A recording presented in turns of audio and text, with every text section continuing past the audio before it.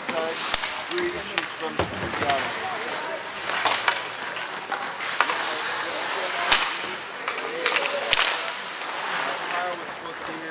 vacation in Hawaii. I don't know why Savvy's not. Zach's